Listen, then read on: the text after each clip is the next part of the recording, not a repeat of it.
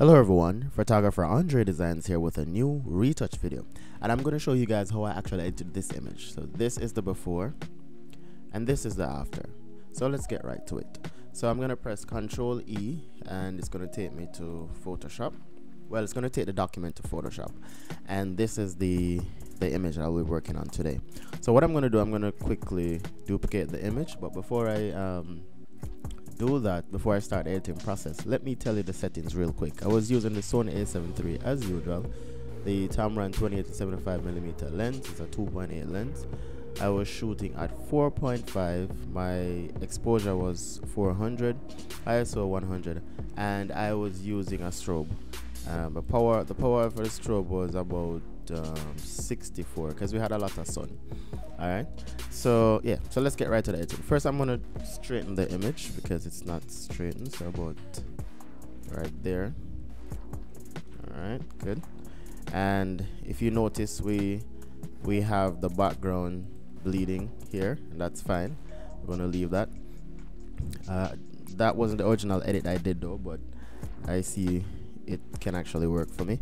So I'm gonna Control Shift Alt E to create a duplicate and then I'm just gonna press S on the keyboard for the clone stamp tool and ensure that the clone stamp tool uh, opacity is at 100 and flows at 100. I'm just gonna sample by holding on uh, Alt and then I'm just gonna paint over the section here. Good.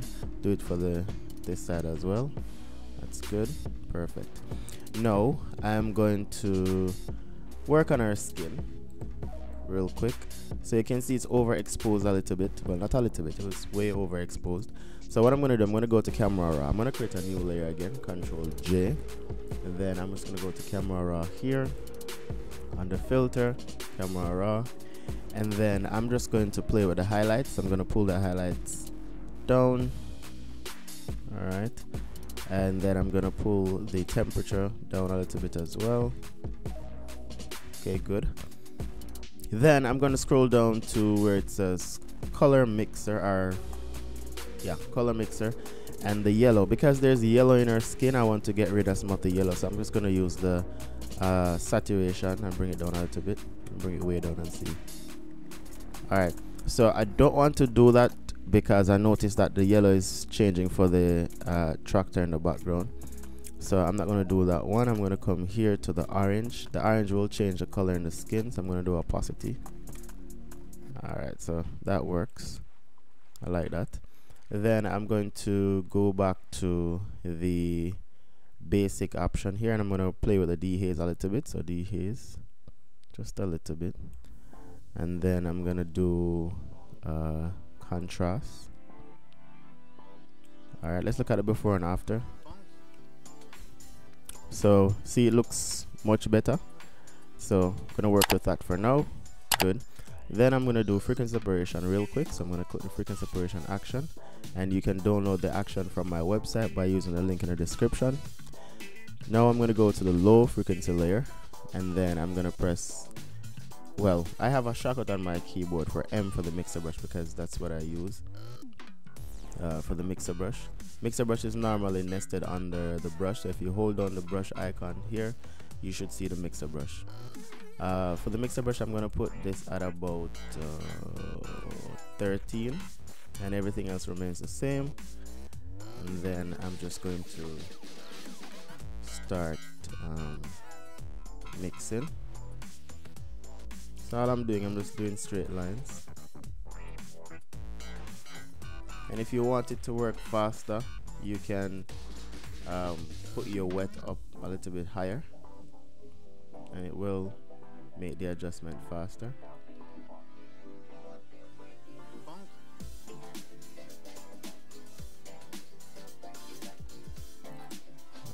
Alright.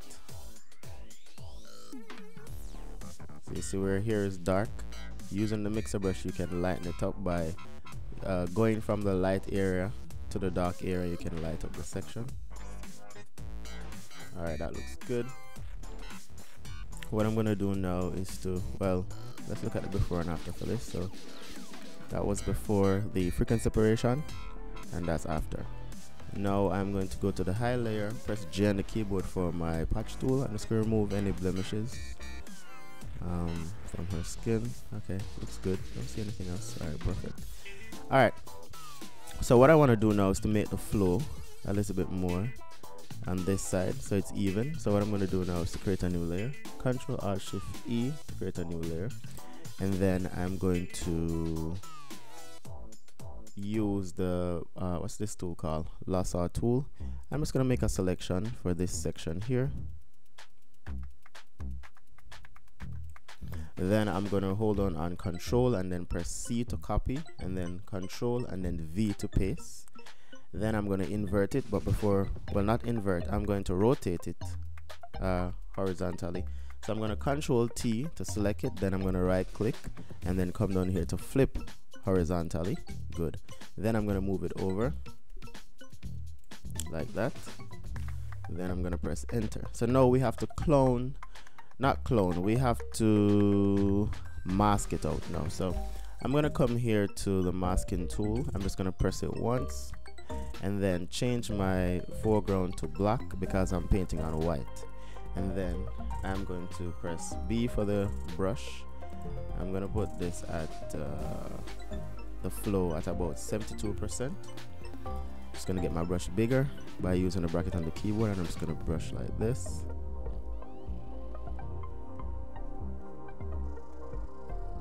alright just like that. And if you notice right here it's not even anymore. So what I have to do is to press X to change the foreground to white so I can get back that section. That looks good. Perfect. Awesome. All right so now it looks like you know it's a part of the dress and trust me if you see any dress like this flowing like this normally if you don't have a lot of people um, to fluff the dress you will have to edit it in Photoshop. And nobody will actually know that you did. Alright so for this section here now I have to um, get rid of it. So I can do uh, I can change this back to the black. And then I'm just going to get my brush smaller and go in and remove these sections here. I'm just gonna scroll up closer so I can see what I'm doing. You know what? I'm going to use a you know what? I'm I'm, I'm gonna try to use the pen tool because the pen tool will give me a sharper edge. Or you can always um, change the the softness of the brush. You can get a harder brush and go around but that's too much work right now so I'm just gonna do this. With the pen tool. Alright right there should be fine. Just gonna come over like this. Then I'm gonna do make selection. I'm gonna keep it at one and then I'm just gonna press delete. Wait I may have to invert it so um, control shift I and then delete. Oh I think I deleted the wrong thing. Uh, let me see something here. Okay so you have to come to the um, the layer here to delete it. Alright so that looks good. Alright so we have to fix right here. Now to fix that I'm just going to press Ctrl T while I'm on this layer here. I'm going to right click and then go to warp. And then I'm just going to pull this down like that this. Alright. Let's push this up a little bit more so it shines right there. We still have a little piece here that we need to remove. So I'm gonna do this with the pen tool. And remove this as well. Here delete. Oh so I guess I have to invert now. Good. Perfect all right so now we want to fix here so it looks natural so I'm going to create a new layer. Control shift alt E to create a new layer. Control J to duplicate it because you don't want to work on the new layer that you've created. You always want to have a backup so you can always go back to. I'm going to press S on the keyboard for the clone stamp tool and then I'm just going to sample and paint. Wait. I have to undo all of that. Sample happening here sample and paint Alright, that looks good. That looks natural, like a natural motion right there. Alright, good. So, I think that is it for that. Um, because I'm okay with everything, I'm just going to merge most of these um, uh, layers. So, what I did was to just select from the top to the um, bottom here by holding on Alt, no, Shift, sorry. And then now I'm going to Control E to merge everything. Good. So, that's the before that's the after so now um still seems like there's the transition right here um doesn't look real but to be honest it looks like that to me but to you you would never know that but if you'd want to make some adjustment to it what you could do is just create a new layer go back to the clone stamp tool again and then you just sample. Wait, wait. let me get this bigger. What you could do you could either sample from this side like that. Wait. Like that. Yeah that should be good. Or you could do some more additional that get the stripes down like that good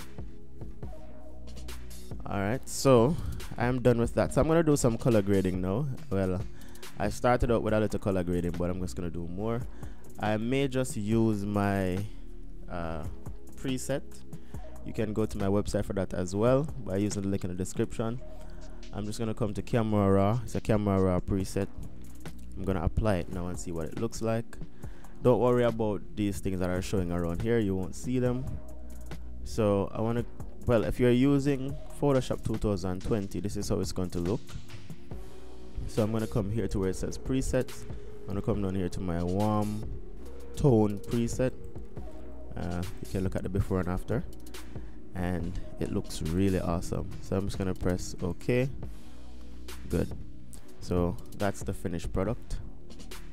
And you know you can always go in and make finer adjustments to the image. I think I've uploaded this to my Instagram already. Let me check. Um go to Instagram and see.